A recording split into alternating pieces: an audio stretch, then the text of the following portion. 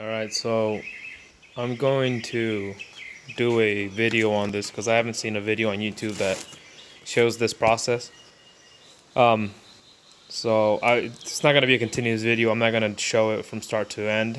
I'll show you guys uh, steps as I go through it. But what I'm doing is I'm doing a C6 uh, Corv um, Corvette seatbelt into a C5 Corvette um, and then I'll, I'll show you guys why I'm doing that uh, conversion. If you have a C5 Corvette and you're trying to put aftermarket seats, you already know why, and that's probably why you're here. So, just wanted to show you guys the actual seat, but I haven't opened this yet, so um, I went with the same color as the the C5 that I have now. It's this like beige um, gold color. Um, I just kind of wanted it to look as stock as possible. So this is the real. Um, everything looks pretty good. Uh, so yeah, there's the mounting for the bottom. Plastic color looks about the same as the one I have now. So I believe that's the driver. Yeah, that might be the driver. And then I have the passenger side here. I'm doing both because I'm replacing both of my um,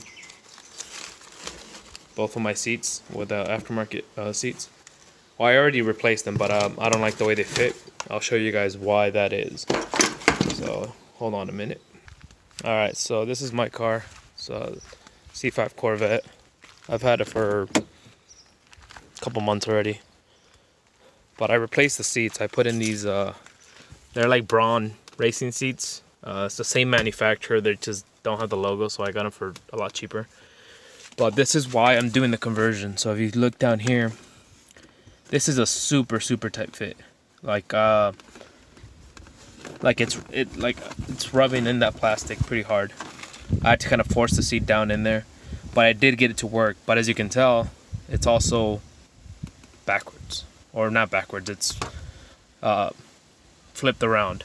So my adjuster is over there to recline the seat and as you can tell it's like it's up against that carpet. Like I can still move it. I still manage to make it work but it's right up against that carpet.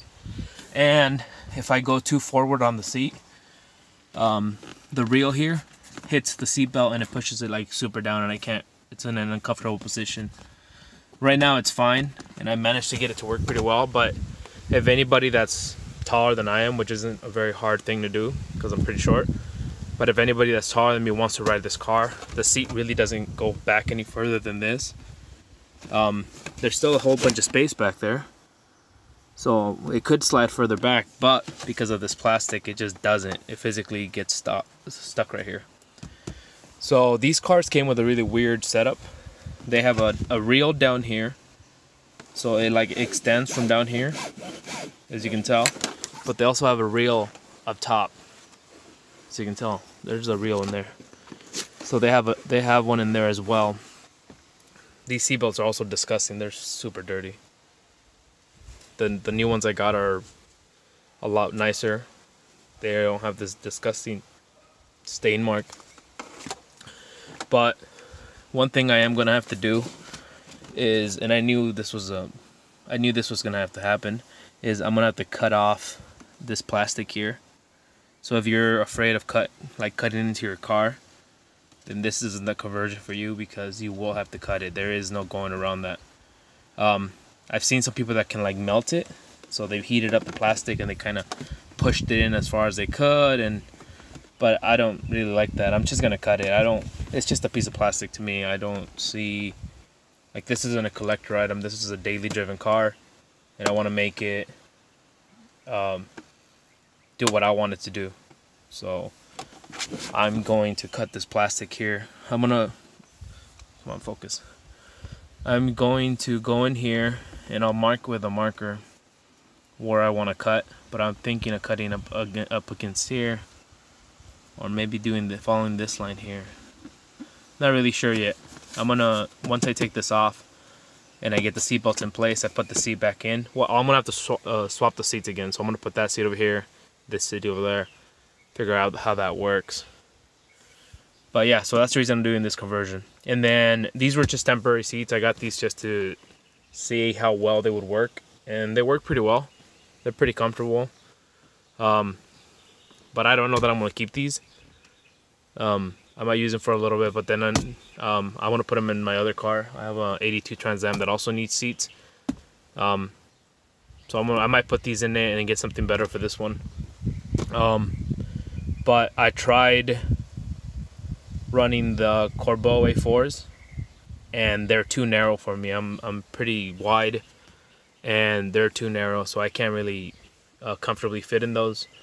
Uh, I know those will work in here without cutting this or putting the, the, the C6 uh, seat belts in.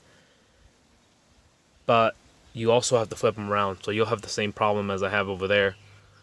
Um, so it, basically there's like no seat that fits this car without flipping driver and passenger. And there are only a few seats that will fit if you do the flip. But there's even less seats that, you know, if you want to fit like a better quality seat. So I was looking at a couple of like Cobra seats and then even a couple after like Recaro, like off of Lancer, or even a couple of uh, like OEM seats from other manufacturers that I like, but none of them will fit this real narrow area here. So um, I'm gonna do that C6 conversion. Once I do that, uh, my seat, uh, I guess, catalog expands a lot, and then I'll start looking at other uh, other manufacturers or other seats, and then I'll just probably take these off, put them in my 82 Trans Am, and then um, put the new seats in here. But so far these work all right. They were I got them off of eBay. They were only like 300 and like 80 bucks, and then oh no, they were less because I paid about 420 with the seats and the and the brackets. So everything was 400 bucks. Um, so they're pretty good. I like the quality. I've I had them for I think about a month. Uh, they're starting to get a little softer, which I like. At the beginning, they were like super, super stiff. But once they've sat in the sun for a while, once I've ridden in them a couple hours, uh, they softened up a little bit. So yeah, I'm gonna, uh, like I said, it's not gonna be a continuous video because I'm still kind of working through this whole process. But I will show you guys um, removing the pieces. I'll show you guys how to do that. I'll show you guys how to remove the old seat belt and then how I mount the old, the new one. Um, and then I'll probably show you know how much of this I cut off. I won't show the actual process of cutting it off just because I don't know how much I'm gonna have to cut off. Uh, I'm gonna have to you know play with that. Uh, worst comes to worst, I can just get some new plastic pieces if it looks really bad. Um, but again, it's just a piece of plastic. It's not that important. But yeah, um, I'll keep you guys posted, and then um, next video is probably gonna be um, removal of everything uh, removal of the seat, removal of the plastics. I'll get the other seatbelt in here just so we can mock it up. And then we'll go from there. If you have any questions, post them in the comments below.